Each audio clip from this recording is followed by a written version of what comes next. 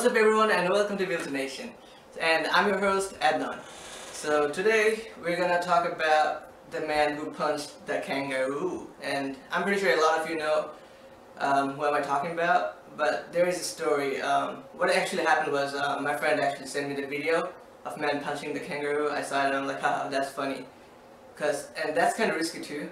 I was scared for the guy because kangaroos, you know, they're pretty tough and buff. But anyway, he did it and later on, my friend, he just sent me another post. It was from 9gag. Um, they posted some stuff on their website and it talks about the man behind the scene. Not actually the man, but the behind the scene video. So I'm just gonna read off. I'll put some pictures on my side so that you can see. It's from 9gag and I'm saying none of this are from me. And if you're wondering why I have this thing on, because Christmas is coming, though I don't celebrate Christmas, but those of you do, Merry Christmas. And yeah, I'm just gonna continue with this guy. But let's get started. Okay, so, and I'm just gonna read off my, my phone. It says, the Mirror reports that the video was in fact filmed by a group of hunter in June at rural, rural estate. It's in Australia, I'm just gonna cut short. It's in Australia and has been organized by strangers to help Caleb Berwick a 19 year old man who's dying from cancer. So if you can see the picture right here, he's the guy and uh, he was dying from cancer back in June. So yeah, then what do we have? And the man who delivered the infamous punch to the violent kangaroo and has been identified as Greg Tompkins. I guess that's how you say it. Greg Tompkins, that's the man who punched the kangaroo. And I think it's the guy in the middle, the tall guy with the nice shirt. I don't know what you call the shirt. Um, okay, uh, the zookeeper was accompanied accompanied Calum on his last hunt. Oh shoot! So the 19-year-old guy, it was his last hunt.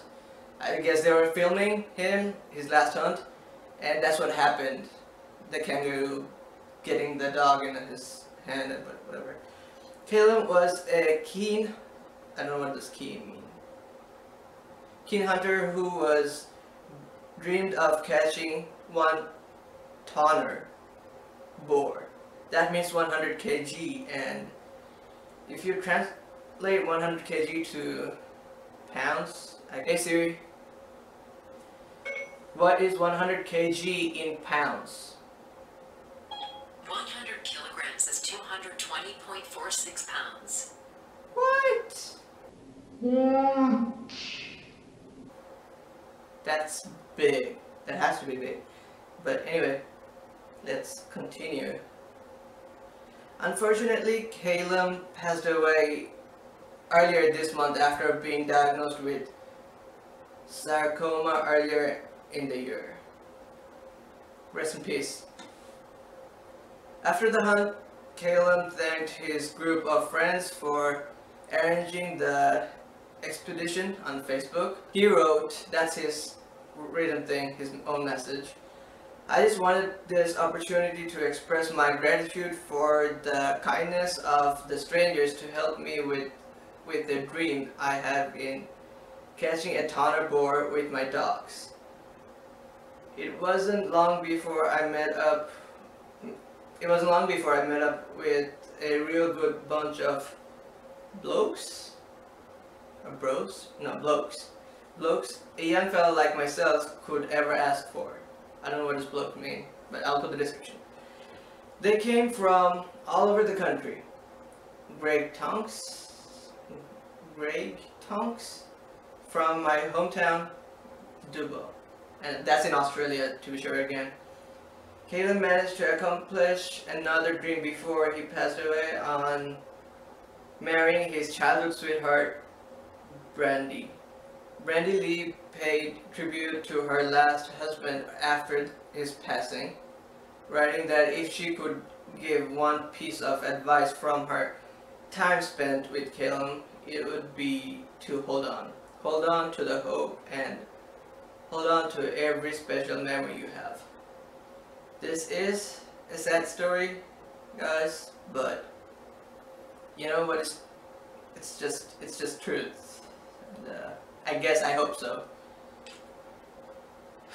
Rest in peace, buddy. And um, so basically, what happened was a guy he was diagnosed with cancer, and he went to his last hunt while other people were filming because that was the last hunt he was gonna go to. And um, somehow someone's dog was in trouble with the kangaroo and his friend or they one of them he just went there and he just punched the guy punched the kangaroo on his face. And if you haven't the if you haven't seen the video that's my friend just calling me.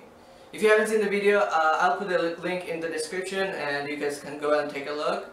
It's not a reaction video but I just wanted to talk. I just wanted to let people know what actually happened but yeah, that's what happened.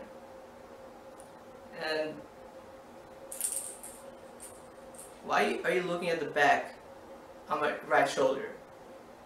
My right shoulder. Is this smile more? Does it? What is it? It's already opened, sorry. This was a hat from Roman Atwood. Not from him, but it is from him, but my brother, he is the one who bought it. To, just to let you guys know, my brother, he's a really big Roman Atwood fan. I am too, but not probably as big as him. And uh, he bought this hat like two days ago. And you know, a few days ago, Roman just posted on his vlogs that he ran out of his hats and he's guessing he's the last one who got it. And then Roman had to put new hats on. But yeah, it is cool hat. It says Smile More and let me see. I'm not a really big fan of hats, but I like it. It's good.